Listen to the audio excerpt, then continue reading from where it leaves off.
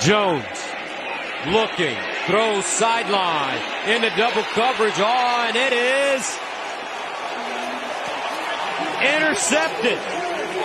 Key Lawrence track